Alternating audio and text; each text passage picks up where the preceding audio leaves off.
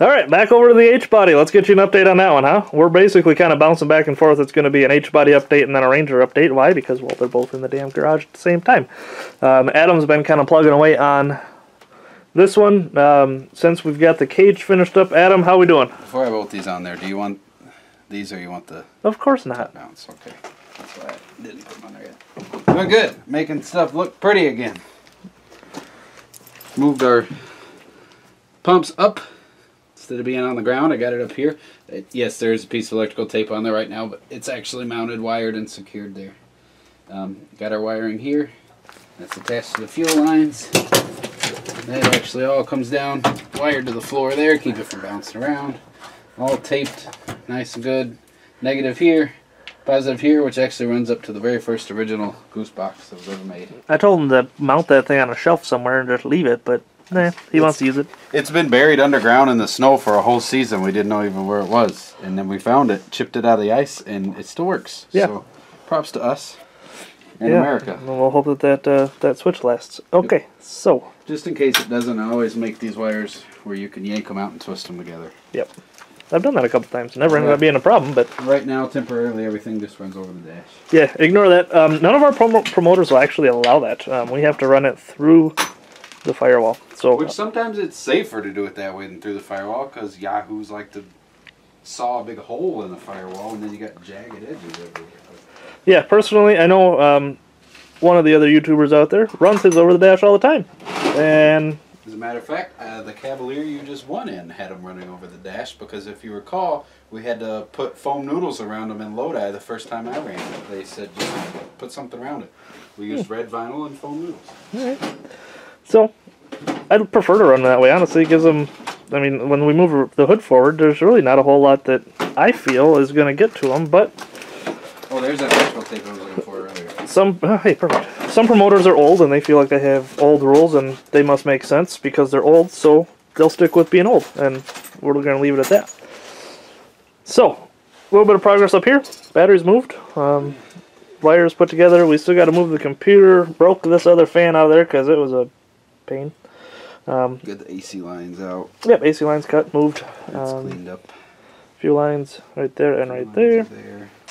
And we'll tie those together, kind of pull them back out of the way. Yeah, they're under the strut bar. They're pretty safe. I mean, overall should be fairly good there.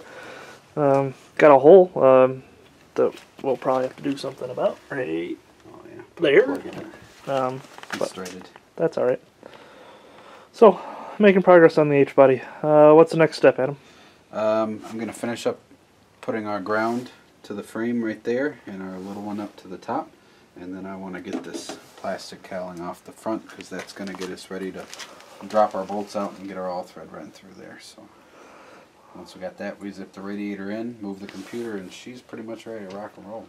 Yeah, this one's getting to a point of um, it's got a bunch of crap in the back since we put all the crap from inside in the back because it used to be in a big pile and now there's a Ranger where there used to be a big pile. So now we've got all this stuff back here just behind the car that's going to go into my next dumpster car, which will be here in a couple days. Um, we'll load all that up, get that out of here. We do still have to fix the control arm on the left rear, so we'll try to get a video of doing that. It's not Wait something I've second. ever done. What? Is that a mosquito? Holy smokes! Oh, I think I squished him that time. Guys, it's like It's 28 degrees outside It's when I got here. Probably so less than that. It's like 20 degrees outside, and we found a damn mosquito. He's probably living in this car. Wow. Wisconsin state bird. Adam just killed it. Screw that thing. Oh, we're at four minutes and 10 seconds. So we call this one a video, or should we wait until what are we gonna do next? We're gonna get the front cut. We'll get the front cut off, and then And then fire it up. yeah, ooh, we should fire it up. Let me finish my wiring. You rip this front off. Then we'll fire it up. Afterward from what? What do they say? Afterward from these sponsors. We don't have any sponsors. One Goose Garage, so One Goose Vinyl Company, Heath Enterprises. just blanking. Mansfield. It'll be right here. All right, fat guy's hungry, so we're calling her a day. Interiors coming along in pretty good shape. Goose box is it over there? Oh yeah. Yeah, she's underneath the bar there. Goose box is right there. Battery's just sitting in here. We haven't put a tray in it yet, but we'll get there. Adam's got the wires all pretty. Let's see, up front. Ooh, it got shorter. Which actually did give us a lot more room for working up here. Decent amount of space. You can see we got some tubing sitting there that we'll cut down. That'll be our bumper shock at some point. Got a lot of the wiring cleaned up. Obviously got the bumper cut off. What's left? We moved our ground. It's up there now. Adam, what's left?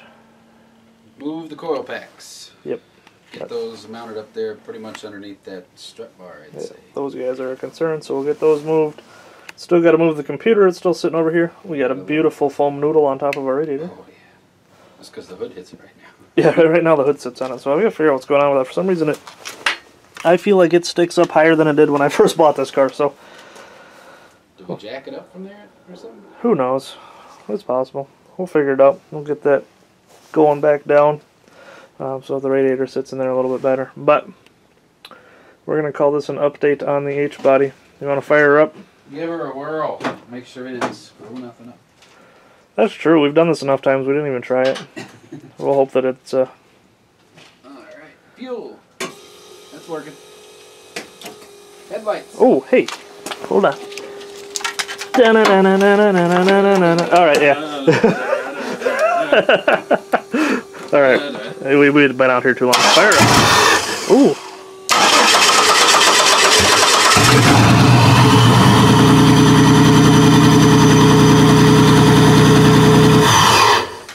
I'd say she's ready to be a derby car.